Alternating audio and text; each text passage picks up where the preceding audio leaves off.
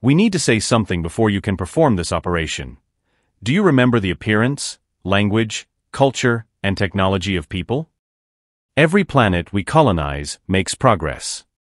They faced it. As a hive thought, our species is almost meaningless in writing or in other ways, but since we communicate with our minds, unless we have enough, we can maintain a good attitude toward memory. Could we remember? The first contact with our appearance millennia ago was much different than that. You are now looking at our home API 3, which is so close to one of the gas giants found in our system. It was thrown off course and threatened to become a nomadic world. At that point in our history, we were still in the hunter-gatherer stage, so we had no way to save ourselves. Vegetation dies and even dies out. We were destined to be extinguished like a small fire in a blizzard, but here comes our savior. The hive remembers. Humanity saw that the planet, despite going rogue, was a perfect planet to colonize if they could just solve the problem of it free floating into the void, so that's what they did. We remember the structures, the size of cities, that pushed the planet back into orbit around our star. We stayed underground, cleaning. What remained from our world, trying to survive as their therapy efforts went further. It is inspiring to see how quickly the frozen wasteland transforms into a meadow of flowers from their homeland. We had never seen them up close until desperation forced us to try and steal their food. It was our first encounter with a man in a settlement called Mel Farms to see that people have brought DNA about every domesticated flora and FAA species to clone and modify them to live on our planet. One such species was an insect about 15 millimeters long, yellow with black stripes, and had a symbiotic relationship, helping plants to reproduce in exchange for their food production. People keep them outside in big boxes and let them breed and overproduce so people can harvest that food. We found out and tried to steal the food. After we learned the mechanism of defense of this insect, our first meeting with people was really good. Honeycomb remembers. Security measures around the area resembled a man's man on behalf of Charles. We remember the white clothes he wore to protect him from insects as well as the air.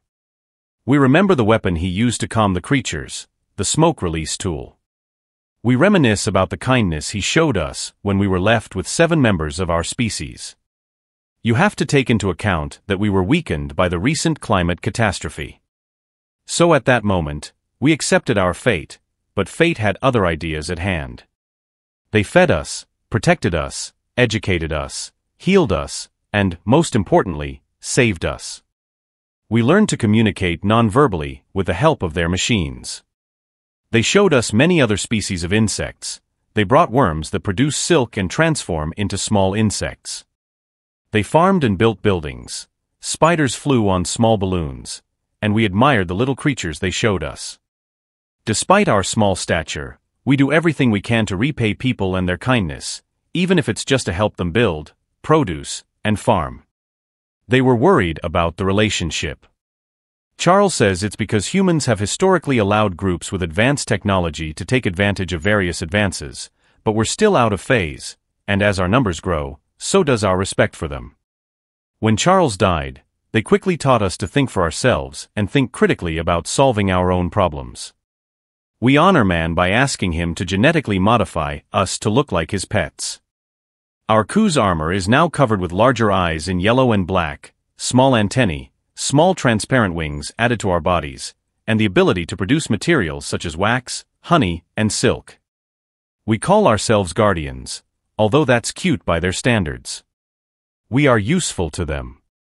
Although it is only a way to communicate between systems, Hive remembers that when the global PL, humanity, tortured the reptilian Alendron, the living beings that came into contact with humans changed themselves. It is quite common to treat your friends with respect. Add the old heroes to the temple. When they revealed respect for the gods and demons, they thought they could be embraced now.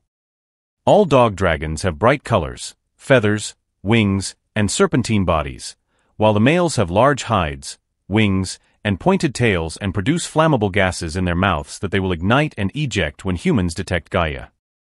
Dangerous attacks. It is simply a living being capable of transforming inorganic materials. Just as heavy metals turn into biomass, It starves the entire planet into biomass, and its last resort is self-destruction, so that its spores can discover the new planets humans have given Earth. The genetic information of all known Earth species enters Gaia and transforms the all-consuming planet, allowing a biosphere of new invisible creatures and photosynthetic plants to flourish. Maybe it will have its own civilization. This gave it human-like sentience, pointed ears, a telepathic connection to Earth, and marked dimorphism, with fewer herbivorous female mates. These solitary predator males have now been carried to the stars and brought Gaia's spores to the terraformed New World. We could continue to practice all species changing in honor of humans, and after humans escaped the dryness of their jungle world, the Vanera changed its appearance to become more ape-like. The Rostomy robots make their mechanical bodies more humane, facilitating relationships and distancing themselves from the creators they overthrew. After initial contact, the polyphilic limos now forms its gelatinous body into a more human form, even placing a control core in a chest that resembles a human heart. Humans have left their mark on hundreds of intelligent life forms across the galaxy, and despite our different customs and biological traits, we all work together for the good of humans, and then you killed them. You came to our galaxy, killed trillions of them, and drove to extinction the species that had done so much to make up for their dark history. Your entire empire is built on the bones of a once prosperous species. Do you remember how they found you dormant on your own orphan planet when they brought you to one of their own systems, when you conquered their worlds and butchered them for meat? Have you forgotten the bravery that human soldiers fought when they defended their homes in vain? Do you even remember their screams? We are the custodians of their legacy. It has taken us generations, but we are ready to avenge our fallen saviors. We've amassed such a massive herd that your computers won't be able to comprehend the power of our numbers, and we're not alone. Every sentient uplift lifted by humanity is on a warpath to eradicate you. The combined fleets of our crusade will block the light of the stars from hitting the surface of your stolen worlds. We're going to lose a lot of people, but we guarantee you'll wish you'd been frozen on this rogue planet centuries ago instead of collapsing under the weight of sin. We hope your gods will forgive you, as each of you will be introduced to them and you will die, not even a hive. I remember you.